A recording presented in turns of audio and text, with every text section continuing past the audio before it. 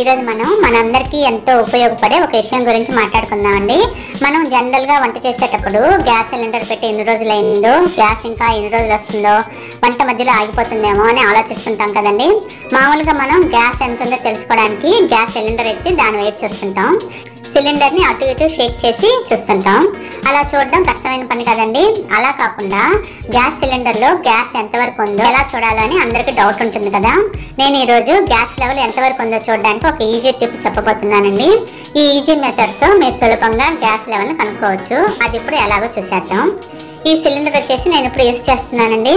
దీనిలో ఎంతవరకు గ్యాస్ ఉందో తెలియదు గ్యాస్ లెవెల్ తెలుసుకోవడానికి ఒక గిన్నెలో నీళ్ళు తీసుకోండి. ఒక నాప్కిన్ తీసుకొని నీళ్ళల్లో ముంచి అంత తడి అయ్యేటట్టు చూసుకోవాలి. ఇలా నాప్కిన్ తడి చేసిన తర్వాత ఆ వాటర్ని పిండేసేయండి. ఈ తడిగా ఉన్న టవల్తో సిలిండర్ పైన ఒక సైడు పై నుంచి కింద వరకు తుడవండి. తుడిచిన తర్వాత నాలుగైదు నిమిషాలు వెయిట్ చేయాలి. ఫ్యాన్ ఆఫ్ చేసి చూడండి. ఫ్యాన్ ఉందనుకోండి తడంతా తొందరగా ఆరిపోతుంది. మనకు గ్యాస్ లెవెల్ కరెక్ట్గా తెలియదు అనమాట అందుకని ఫ్యాన్ ఆఫ్ చేసి నాలుగైదు నిమిషాలు వెయిట్ చేయండి. నాలుగైదు నిమిషాల తర్వాత చూస్తే గ్యాస్ అయిపోయిన దగ్గర తడి తొందరగా ఆరిపోయి ఉంటుందండి. కింద గ్యాస్ ఉన్న దగ్గర తడి ఉండి అది నెమ్మదిగా ఆరిపోతుంది అనమాట చూడండి లైన్ పైన అంతా ఆరిపోయింది. కింద తడిగా ఉంది. అంటే లైన్ వరకు గ్యాస్ ఉందని తెలుస్తుంది. ఈ విధంగా మనం ఈజీగా వాటర్తో గ్యాస్ ఎంత లెవెల్ వరకు ఉందని తెలుసుకోవచ్చు. అలాగే నా దగ్గర ఫుల్ సిలిండర్ ఉందండి. దానిపైన కూడా ఈ తడిగుడ్డతో పైనుంచి కింద వరకు తుడుస్తున్నాను. నాలుగైదు నిమిషాల తర్వాత చూస్తే పైన మాత్రం తొందరగా ఆరిపోయిందండి. ఈ లెవెల్ నుంచి కింద వరకు గ్యాస్ ఉంది. అందుకని తడిగానే ఉండి నెమ్మదిగా ఆరిపోతుంది అనమాట అంటే ఫుల్గా గ్యాస్ ఉందని మనకు తెలుస్తుంది. ఇది ఎలా అంటే మన సిలిండర్లో ఎల్పిజి గ్యాస్ వచ్చేసి ఎయిటీ ఫైవ్ పర్సెంట్ లిక్విడ్ స్టేట్లో ఉంటుందండి.